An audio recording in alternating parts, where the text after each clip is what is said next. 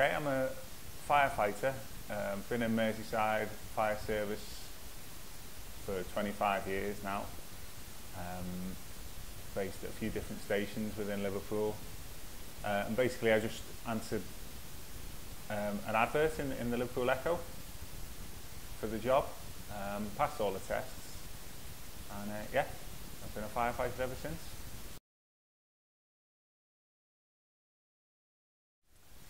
Yeah, I mean, you know, obviously the, some jobs are worse than others. Um, you know, we have dead bodies, but you know we've had rescues as well. You know, so uh, you know, rescued a few people out of fires, but we go to that many different jobs.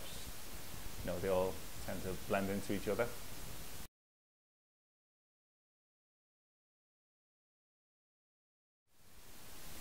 Yeah, so at the moment I'm seconded to the training school and I'm a fitness advisor for the fire service. So we have fitness standards for all the firefighters um, and any firefighters that don't meet the standards, either fitness wise or weight management wise, I help them uh, develop a program to meet the fitness standards. So that's the job that I do at the moment. So I'm on days at the training school doing that.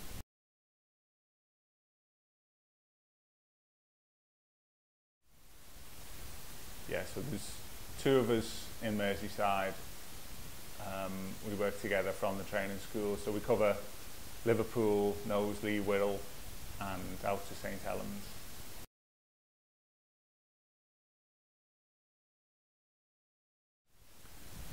Well, predominantly we, we train with the operational firefighters, and um, that's our main role. But also we do work with some community groups. Uh, sometimes we, uh, we do circuit training with the kids in schools and it helps you know get the message across about fire safety in a fun way as well. So we do a little bit of fitness with them.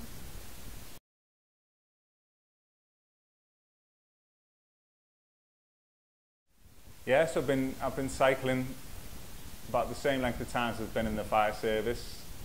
Um, uh, raced at quite a good amateur level back in the 90s and they have a, a, a World Championships for the fire service, which I won in 1993 in uh, France, and that was probably the biggest race that I've won.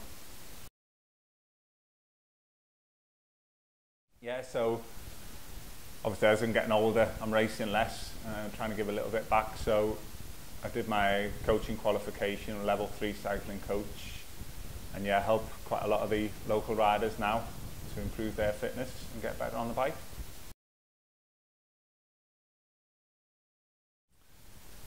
Um, well, apart from enjoying your training, I think the one thing a lot of people don't get right is the nutrition.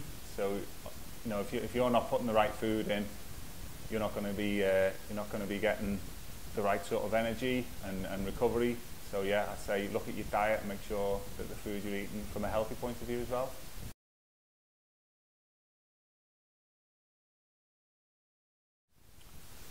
Well, a lot of people do sports science path now, so you can get a, a degree in sports science and then you can specialise in different areas. So you can do, you can become a strength and conditioning coach, which you know all the, all the big clubs, you know, of all sports have strength and conditioning coaches now.